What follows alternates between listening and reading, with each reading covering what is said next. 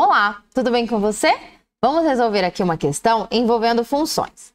Uma determinada loja pratica seus preços em reais para a venda do quilograma de aço de acordo com a seguinte tabela. Então, aqui a gente tem a quantidade de aço e o preço definido em faixas. Observe que à medida em que a quantidade de aço em quilograma aumenta, o valor em reais por quilograma, que excede a faixa anterior, fica mais barato. Ou seja, um cliente que comprar 600 kg de aço pagará o seguinte valor. Então, ele faz o V, o valor, 200 vezes 12, por quê? Porque até 200 quilogramas é 12 reais por cada quilograma. Aí ele pega 600 quilogramas, passou ali do 200, 400 quilogramas. Nos primeiros 200 quilogramas, ele vai pagar 12 reais por cada quilograma. Quando passa desses 200, aí vai para a próxima faixa. Então, de 200 até 500. De 200 até 500 tem 300 quilogramas. Aí, por isso, ele vai ser taxado em 11 reais por cada quilograma que está nessa segunda faixa. Como vai de 200 até 500, então são 300 vezes esses 11 é, reais. E aí, para chegar nos 600, a gente tem mais 100 quilogramas que vão cair nessa terceira faixa, de 500 até 1.000. E nesses 100 quilogramas, vai ser cobrado 10 reais por cada quilograma. Então, por isso, 10 vezes 100, o valor total que a pessoa vai pagar, 6.700. Aí ele pergunta: a lei da função que associa o valor total de uma compra V em reais com a quantidade comprada para compras acima de mil quilogramas é.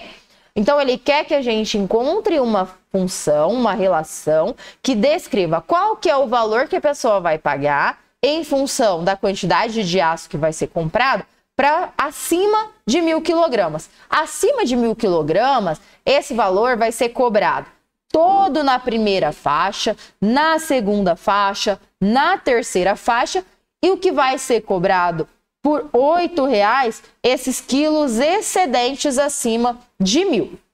Então a gente vai escrever da seguinte forma, ó. O valor em função da quantidade vai ser voltar aqui, ó até 200 quilogramas, ou seja, nos primeiros 200 quilogramas, né, ele vai ser cobrado 12 reais por cada quilograma. Então, 200 vezes 12. Aí, mais, na segunda faixa, nos próximos 300 quilogramas, ou seja, de 200 a 500, 11 reais por cada quilo. Nessa faixa tem 300 quilos, então vai ser 300 vezes 11. De 500 a 1000, ou seja, nos 500 quilogramas que estão na terceira faixa, ele vai ser cobrado e vai pagar 10 reais por cada quilograma. Então, vai ficar mais 500 vezes 10. E aí, o que passar de mil, os quilos excedentes, ele vai pagar 8 reais por cada quilo excedente. Excedente é acima de mil. Então a gente vai pegar esse valor, essa quantia aqui, e vai tirar os mil primeiros que já foram cobrados com um valor diferente. Então vai ficar mil, aliás, que, que é a quantia de aço, menos mil, porque o que vai ser cobrado oito reais cada quilo vai ser o excedente, ou seja, o que passar de mil. Então a quantidade menos mil. E aí desenvolvendo essa segunda aqui, segundo membro essa expressão, a gente tem 200 vezes 12, 2.400, 300 vezes 11, 3.300, mais 5.000, mais 8Q, menos 8.000.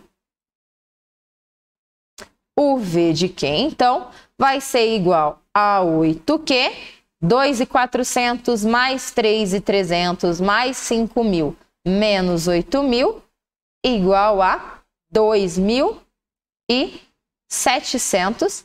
Então, a alternativa correta, letra C. Então é isso, eu te vejo na próxima. Até lá!